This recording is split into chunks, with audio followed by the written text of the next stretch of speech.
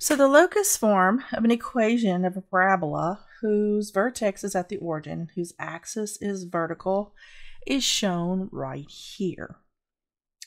If P is positive, the focus is above the axis, the x-axis, and the directrix is the same distance. So the same distance from the focus to the vertex and the same distance from the vertex to the directrix. So this dimension here is going to be congruent to this dimension here.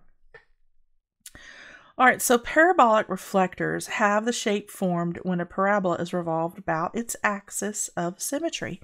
So think like the shape of a contact lens or the shape of a satellite dish or a um, the head of a flashlight if you were to take it apart and look you would see that it was a silver bowl shape and it has a light bulb in the center so what happens with a flashlight is you have a light bulb that's placed right here at the focus point and then that light is reflected out to the parabolic reflector and then that light goes outward uh, with a satellite dish the signal is received and then reflected inside to a receiver.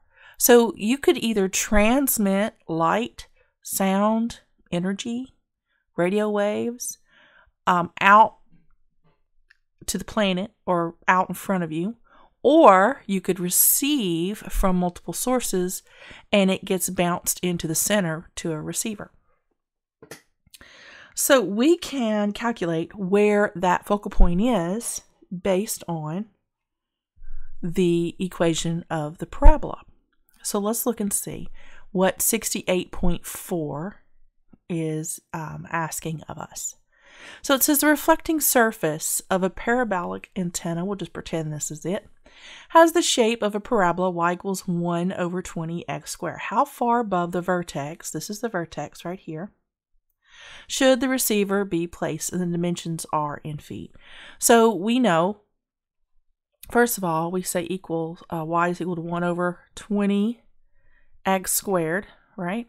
That are, is our parabola equation. We know that this can be rewritten as y is equal to ax squared, right?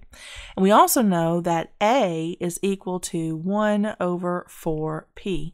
So that means that 1 over 20 is equal to 1 over 4p.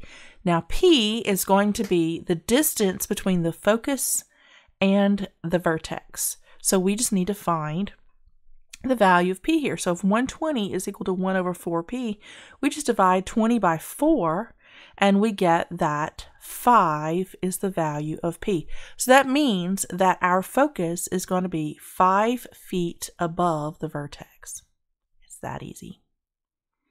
Pretty straightforward.